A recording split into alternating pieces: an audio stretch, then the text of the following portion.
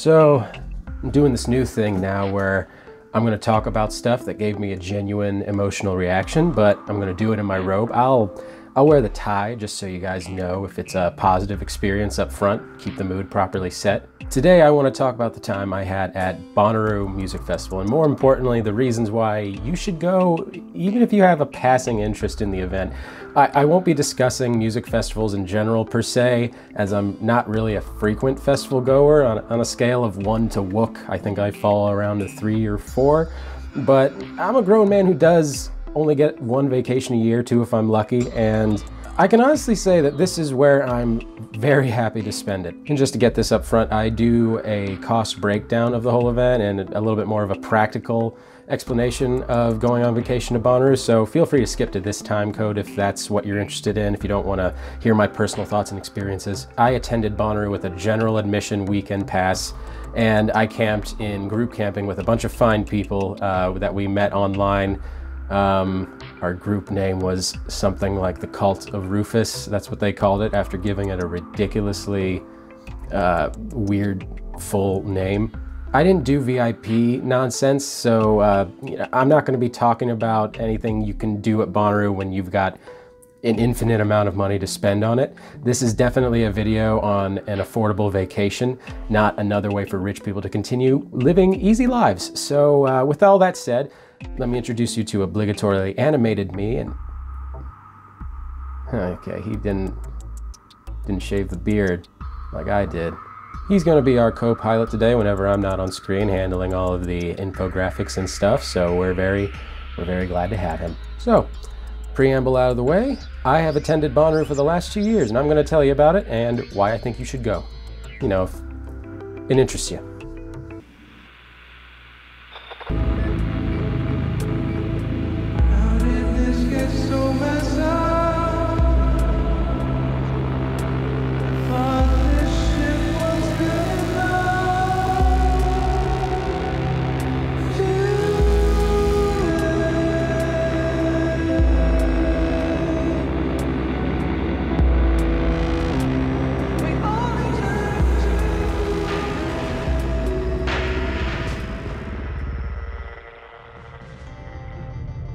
those who haven't been down on the farm, Bonnaroo Music and Arts Festival is held every summer at Manchester, Tennessee. It lasts for four days in June, spanning the weekend, and has been going on since 2002. I myself have only attended the last two years, however, looking back at the bands who have played in the past, yeah, I'm nothing short of jealous. From what I briefly read up on it, I guess it originally hosted mainly jam bands and folk bands. However, I think anyone that has been to Bonnaroo within the years that I've gone or have known about it would probably say, Yo, Chris,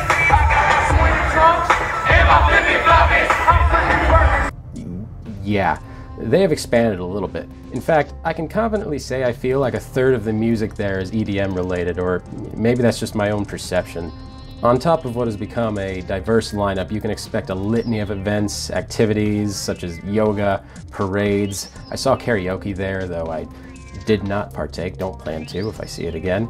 You can even register to vote there, you know, if that's where you want to do that. There are endless amounts of food options, most of it essentially just being upgraded carnival food with a bit of a hipster twist on it, but hey, my, my diet's on vacation when I'm on vacation, so I'm gonna just eat a bunch of morning bender sandwiches, and it's okay to be unhealthy if you're funny about it. oh, I've got diabetes. I'm, I'm slowly withering away. Like many people attending, I camped at the festival grounds both years I went, which requires, you know, a medium to long drive on my part. It's just far enough from my house to justify the camping kind of thing. All in all, this sounds like a good time to me on the surface. A long weekend of camping, sunny weather, a lineup I can see either live for the first time or truly just listen to for the first time in general. Add to this that most of my friend group attends, I, I saw no reason not to go. Which is why I'm going to bring up some immediate deal breakers before I get into all the praise. So let's start with those. If you don't enjoy camping, you know, like the suburban kind of camping where you're not really braving the elements, you're just choosing not to sleep in a house, Your feelings aren't going to change on that suddenly in the hot 90 plus degree weather. I was lucky enough to camp in a Habitent this year and have air conditioning as a result, but the year before that, every morning, 8 a.m. at the latest, you're getting up because the sun is cooking you alive inside your tent. It's a music festival, so you're not going to bed at a reasonable hour, of course, and not to mention bugs, the possibility of rain, and the next deal breaker.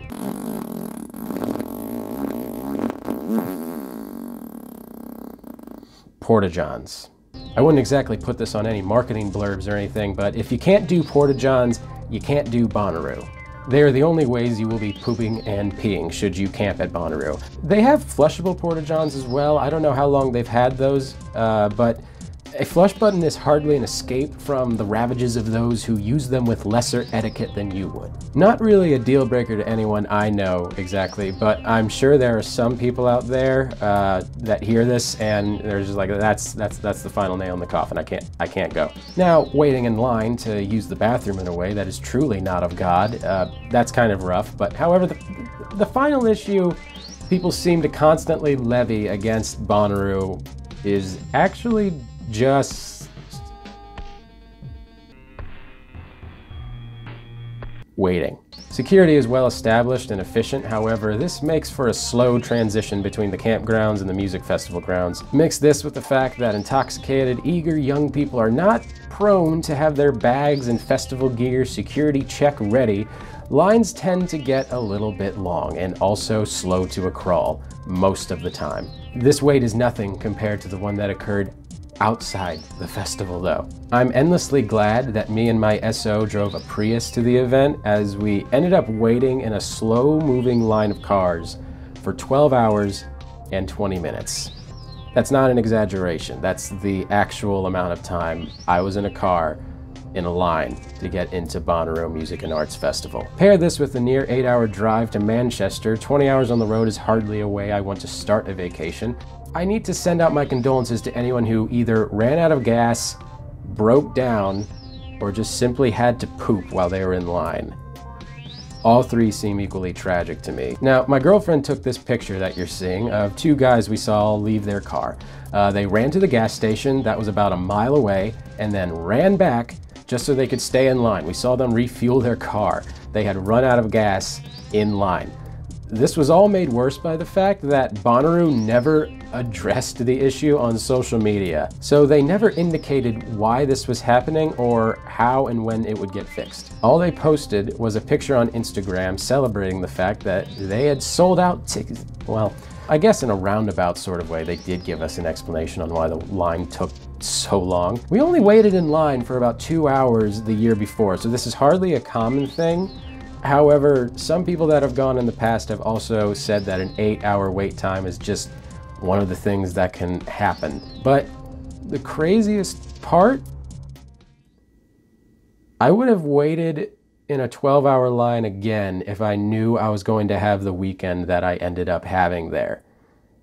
And I know that sounds hokey, and what I'm about to say is even more hokey, but Bonnaroo is truly an event unlike any other that I've been to. Not a big festival person, again, as I said, but perhaps that's the reason why it made even more of an impact on me. And it just might be worth all of the deal breakers I've mentioned here. So let's lay those out. The positives.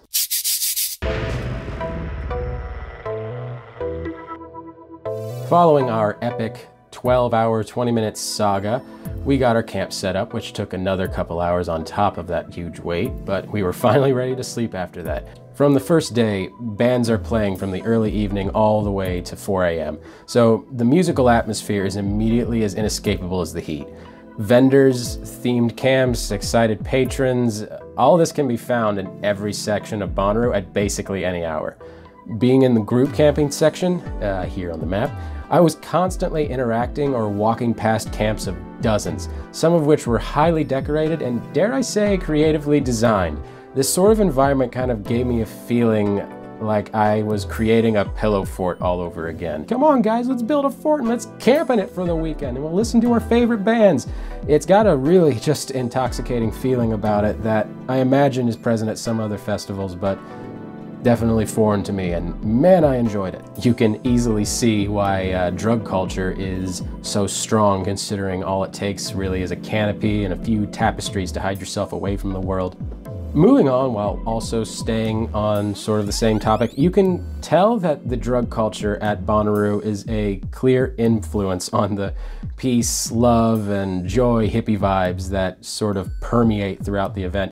Everyone is eager to high five you, uh, converse while in line, ask about how your weekend's going, how your trip's going, why you're here, even just, you know, give you a happy, yeah, happy. People who have been smoking, tripping, or whatever are far more likely to shed their skin in places like this. And no, not just because they didn't wear sunscreen. Again, not for everyone, whether it be because of your morals, biology, but being able to surround yourself with people who are more concerned with having a serene, good time between each adrenaline rush that are the concerts. It makes the stress of being surrounded by so many people just kind of inexistent.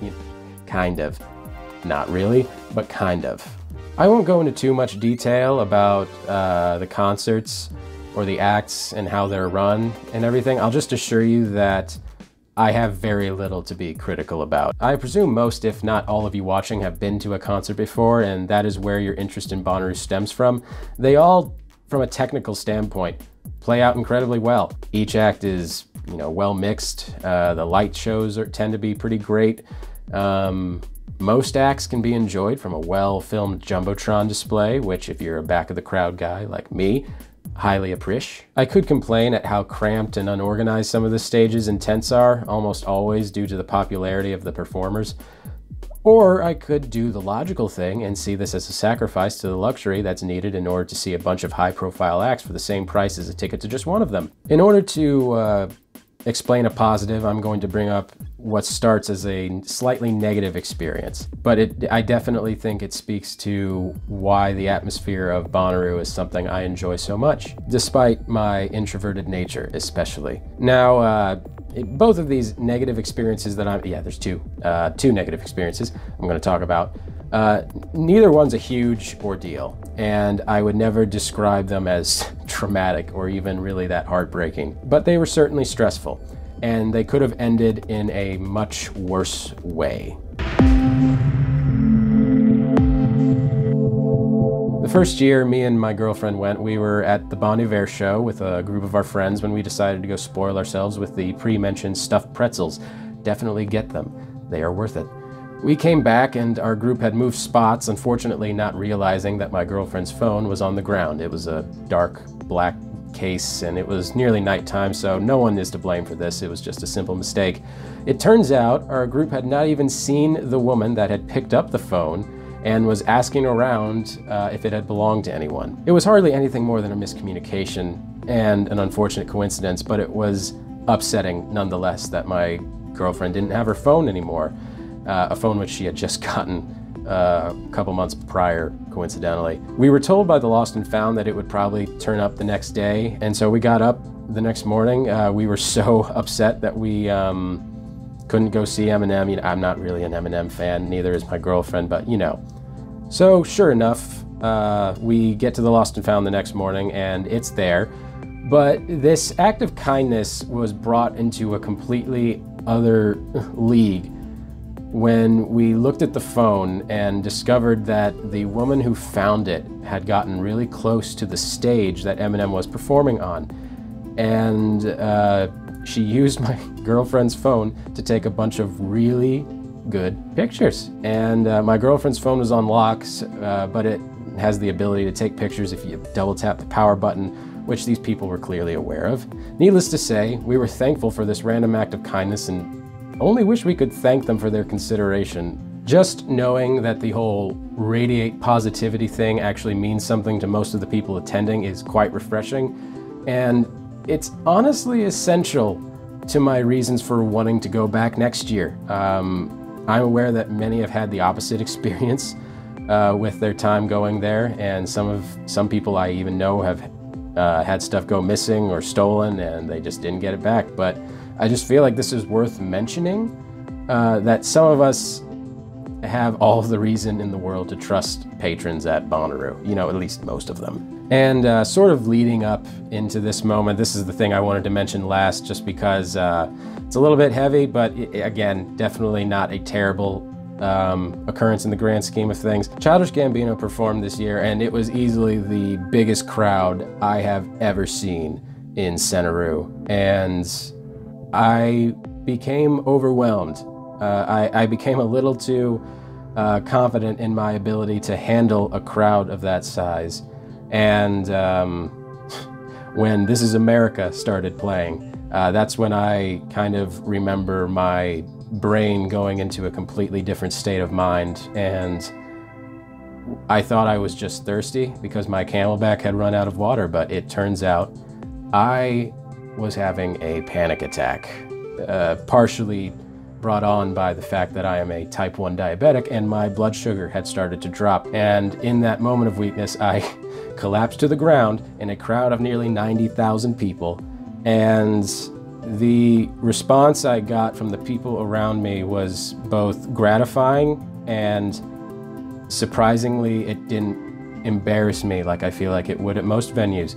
The people around me sort of didn't know me, uh, created a sort of protective circle around me while I sat on the ground and took deep breaths. And one of them, seeing that I was sucking on my CamelBak straw for dear life, handed me his half bottle of Gatorade. Um, and you know, after the concert ended, I didn't get a chance to thank any of these people. And I am most regretful of that fact because, in a moment of considerable weakness, these people were less concerned with seeing who I consider possibly our generation's biggest rock star. Fuck you, Kanye. And they, uh, they were worried about how I was doing, and they, you know, they, they helped me. They didn't know who I was. I couldn't be thankful enough, and if you guys are watching, thank you so much. My goodness. Speaking of human decency, it would be wrong of me to not objectively break down the overall cost and appeal of Bonnaroo before I close this video out.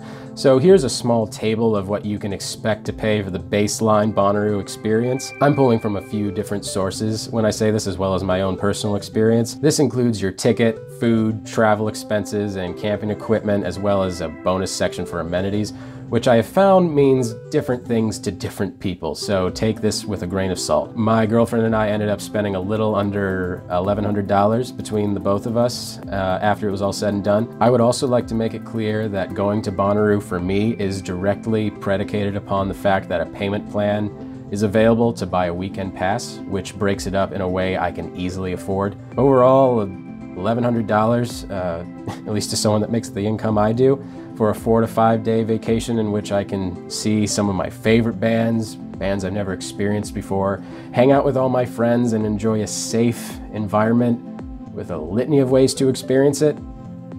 Yeah, um, if this even remotely appeals to you, you should go. If you watch this video the whole way through, I really appreciate it. If you just skip forward to the end to see the price breakdown and everything like that, thanks for making me your source. I've linked in the description all of my sources that I use to make this video, which includes the Bonnaroo website and some travel websites. I encourage you to do your own research if there was something that I didn't cover here today. Um, Stuff in My Robe is something that I plan to do once a week and just kind of talk about different things that affected me very strongly and why you should either experience them or not. So all of your feedback, very much appreciated.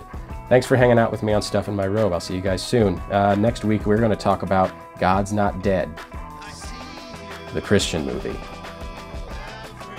I'm going to cover some Christian media in this show quite often. It is trauma a strong emotional response?